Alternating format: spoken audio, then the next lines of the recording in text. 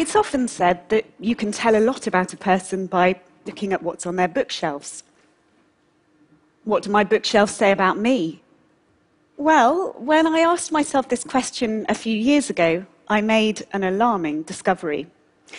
I'd always thought of myself as a fairly cultured, cosmopolitan sort of person, but my bookshelves told a rather different story. Pretty much all the titles on them were by British or North American authors, and there was almost nothing in translation. Discovering this massive cultural blind spot in my reading came as quite a shock. And when I thought about it, it seemed like a real shame. I knew there had to be lots of amazing stories out there by writers working in languages other than English, and it seemed really sad to think that my reading habits meant I would probably never encounter them. So I decided to prescribe myself an intensive course of global reading. 2012 was set to be a very international year for the UK. It was the year of the London Olympics, and so I decided to use it as my time frame to try and read a novel, short story collection, or memoir from every country in the world. And so I did. And it was very exciting, and I learnt some remarkable things and made some wonderful connections that I want to share with you today. But it started with some practical problems. Now, after I'd worked out which of the many different lists of countries in the world to use for my project, I ended up going with the list of UN recognized nations, to which I added Taiwan, which gave me a total of 196 countries. And after I'd worked out how to fit reading and blogging about roughly four books a week around working five days a week, I then had to face up to the fact that I might not even be able to get books in English from every country. Only around 4.5% of the literary works published each year in the UK are translations, and the figures are similar for much of the English speaking world, although the proportion of translated books published in many other countries is a lot higher. 4.5% is tiny enough to start with, but what that figure doesn't tell you is that many of those books will come from countries with strong publishing networks and lots of industry professionals primed to go out and sell those titles to English language publishers. So, for example, although well over 100 books are translated from French and published in the UK each year, most of them will come from countries like France or Switzerland. French speaking Africa, on the other hand, will rarely ever get a look in. The upshot is that there are actually quite a lot of nations that may have little or even no commercially available literature in English. Their books remain invisible to readers of the world's most published language. But when it came to reading the world, the biggest challenge of all for me was the fact that I didn't know where to start. Having spent my life reading almost exclusively British and North American books, I had no idea how to go about sourcing and finding stories and choosing them from much of the rest of the world. I couldn't tell you how to source a story from Swaziland. I wouldn't know a good novel from Namibia. There was no hiding it. I was a clueless, literary xenophobe. So, how on earth was I going to read the world? I was going to have to ask for help. And so in October 2011, I registered my blog, a year of readingtheworld.com, and I posted a short appeal online. I explained who I was, how narrow my reading had been, and I asked anyone who cared to to leave a message suggesting what I might read from other parts of the planet. Now, I had no idea whether anyone would be interested. But within a few hours of me posting that appeal online, people started to get in touch. First it was friends and colleagues, and then it was friends of friends, and pretty soon it was strangers. Four days after I put that appeal online, I got a message from a woman called Rafida in Kuala Lumpur. She said she loved the sound of my project. Could she go to her local English language bookshop and choose my Malaysian book and post it to me? I accepted enthusiastically, and a few weeks later, a package arrived containing not one, but two books. Rafida's choice for Malaysia, and a book from Singapore that she had also picked out for me. Now, at the time, I was amazed that a stranger more than 6,000 miles away would go to such lengths to help someone she would probably never meet. But Rafida's kindness proved to be the pattern for that year.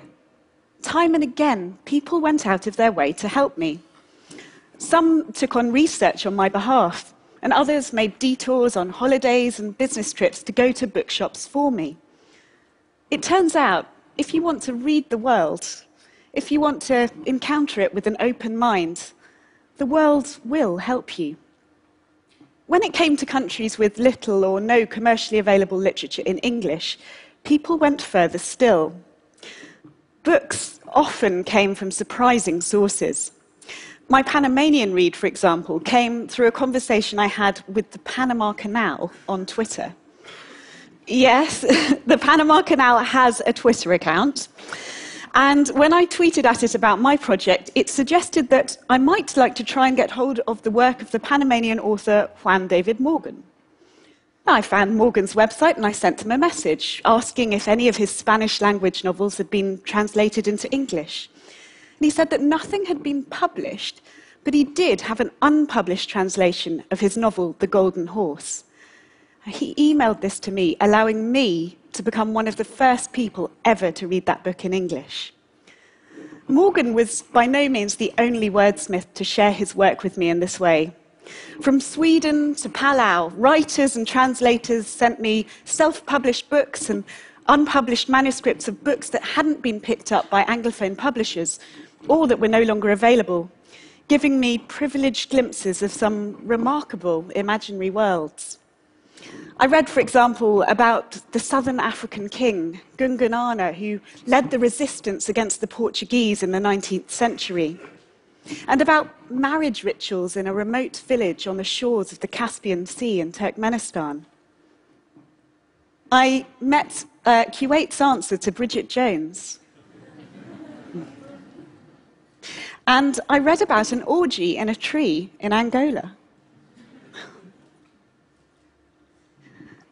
But perhaps the most amazing example of the lengths that people were prepared to go to to help me read the world came towards the end of my quest, when I tried to get hold of a book from the tiny Portuguese speaking African island nation of Sao Tome and Principe.